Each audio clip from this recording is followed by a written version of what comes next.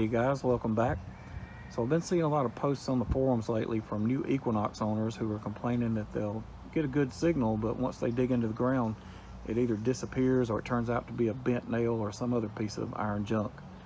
Uh, that's what you call falsing, and today I'm going to try to find an example of that and show it alongside of a good target and hopefully explain the difference between the two and maybe help some people cut down on the amount of junk targets they're digging.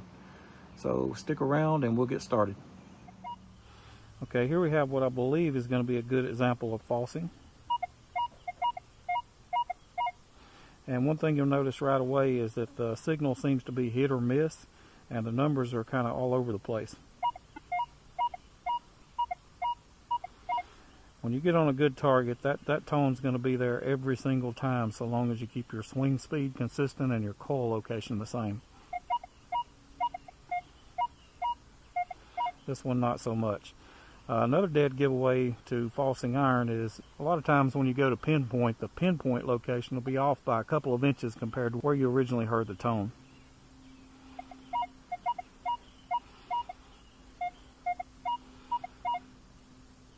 All right, let's dig this one up and verify that it is indeed falsing iron.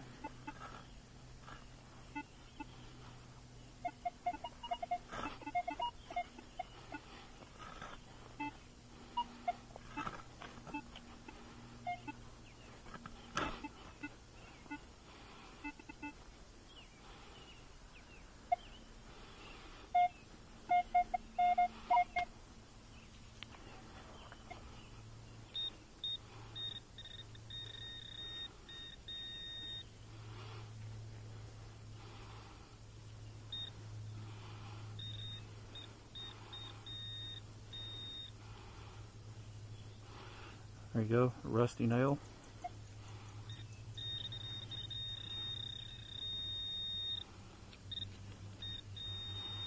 Even more in the hole.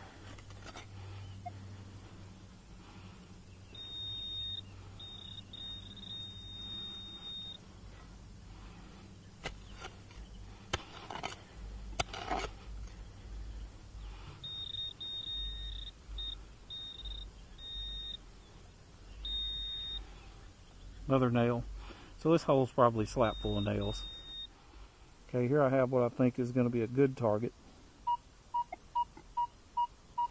As long as I keep my swing speed and my coil location in the same spot, the, the tone is there every single time.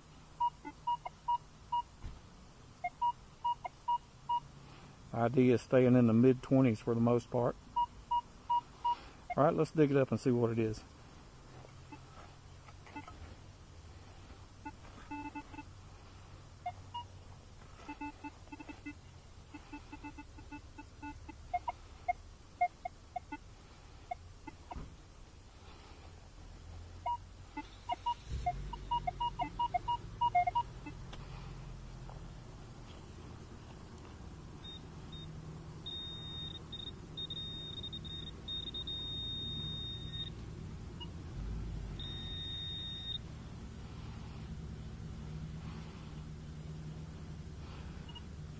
That's going to be a penny.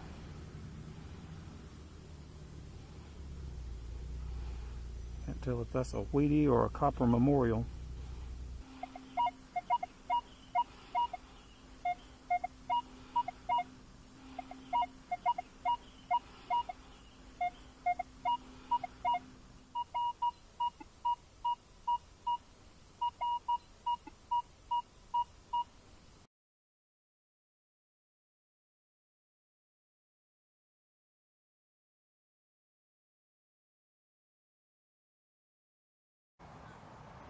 Well, there you have it, guys. Hopefully that's useful to at least a few people.